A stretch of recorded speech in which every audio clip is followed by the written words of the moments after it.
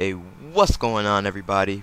You know who it is, Raw Justice, and today I'm bringing you an epic, hip-fire only, single-wielded, non-suppressed, flawless Skorpion Moab. Can I get a hallelujah? Alright, alright. So today is the Q&A video. You guys left your questions on the previous, or two episodes behind, which was the PP90M1. And we only got two more machine pistols to get the hipfire only Moabs with, and then we're on to either shotguns or assault rifles. Still haven't made my decision up yet, but you guys asked me questions, and I'm going to answer that right now. It was a close tie between Skorpions and MP9, so I just picked the Skorpions because I thought that would be a lot cooler and more impressive. So anyways, uh, let's get into this. Can I get a round of applause before we do? Alright, alright, that's great. Alright, so first question comes from JJKK, and he asks, What's your favorite weapon to use in hardcore TDM? Great question, JJKK. My favorite weapon to use in hardcore TDM would have to be the MK14. With suppressed, it keeps you off the map, and it's still a one bullet kill. If you hit him in the leg, you might get a hit marker, I'm not so sure. But from what I know, it's a one bullet kill with or without rapid fire, which is crazy. You'll be pretty much sniping people without a scope. So you can use a red dot sight and still keep kill people with one bullet, which is pretty awesome. Uh, my second best gun to use in hardcore would probably have to be MP7 because it has low recoil. You can add rapid fire or extended mags, which will increase the rate of fire and give you more clips if you use extended mags. And yeah, that will kill a bunch of people. You wouldn't have to worry about being inaccurate or your accuracy will be off because it has low recoil. So as soon as you see the person, you could just pretty much snipe them down. That's how that's how good the MP7 is in hardcore TDM. Okay, hope that answered your question. Next question comes from X Ninja Nerd, and he asks, "How many flawless Moabs have you gotten?" Wow, um, this is a flawless Moab, so I guess I can add that to the list.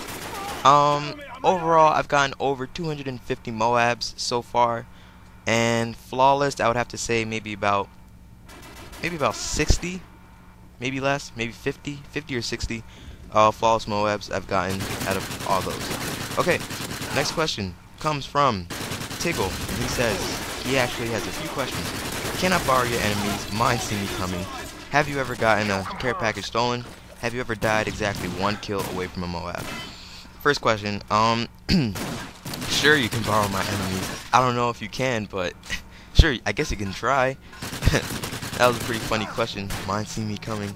Well, I can't really help you with that, but uh, try to find lobbies without people with super high KDRs, because I can only Moab people with under a 2 KDR. If it's over that, I know they're going to kill me, because they just have that skill where they're really good.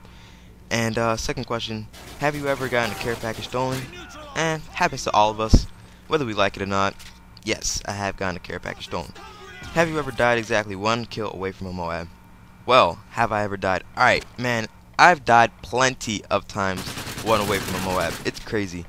Most of my Moabs, I probably would have around 300 or more Moabs because I died one off of a Moab. It, it's ridiculous.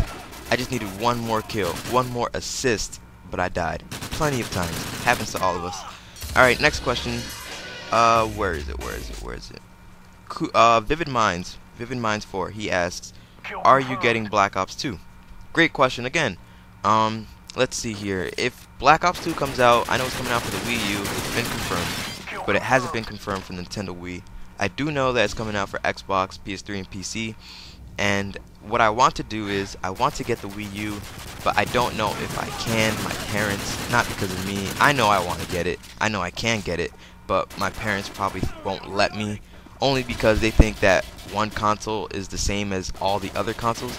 But I keep trying to convince them. So if I don't get the Wii U, I'll probably just get, I don't know, maybe a PS3, maybe. Or if I don't, if I can't get that either, which hopefully I can, um, I'll get Black Ops uh, 1 for Nintendo Wii, or Black Ops 2 for PC. Maybe. I have a lot of choices in mind. I'm not very sure if I'm getting um, Nintendo Wii U and I might be getting Black Ops 2. Alright, next question. What do you use to record and what mic do you use? Okay, if you haven't noticed, I use an EasyCap slash Dazzle.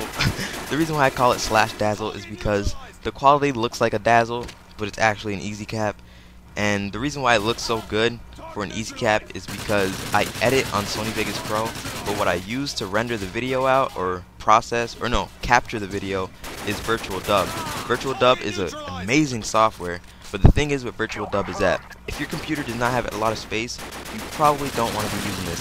Virtual Dub, it takes up one gigabyte per minute on average, about. So like if you have a seven minute gameplay, the size of that file will be around six to seven gigabytes, which is a lot.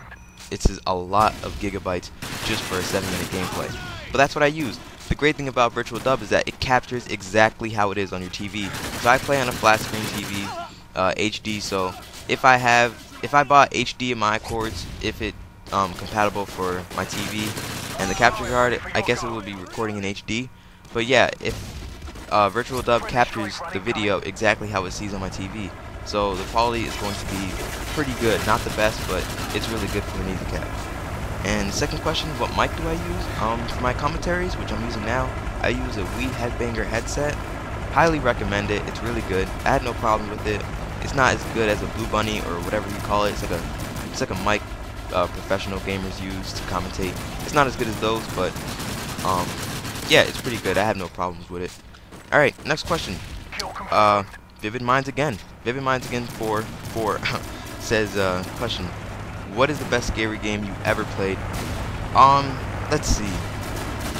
Best scary game I've ever played would have to be the stupid maze game.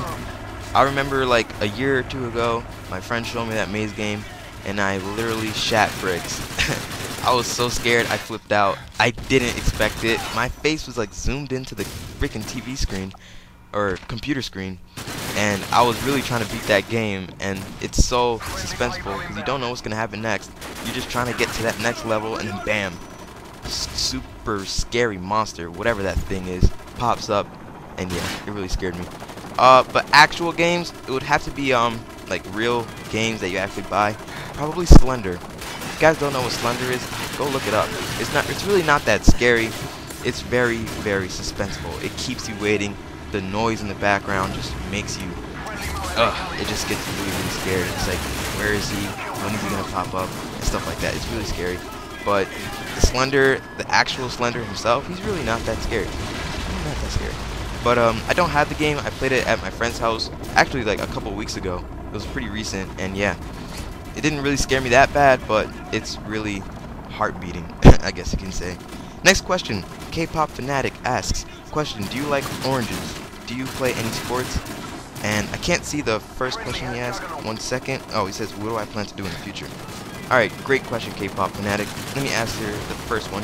What do I plan to do in the future? Uh, alright, I plan to be like one of those x-ray people that take x-ray pictures of bones, which is the study of radiology, I'm pretty sure.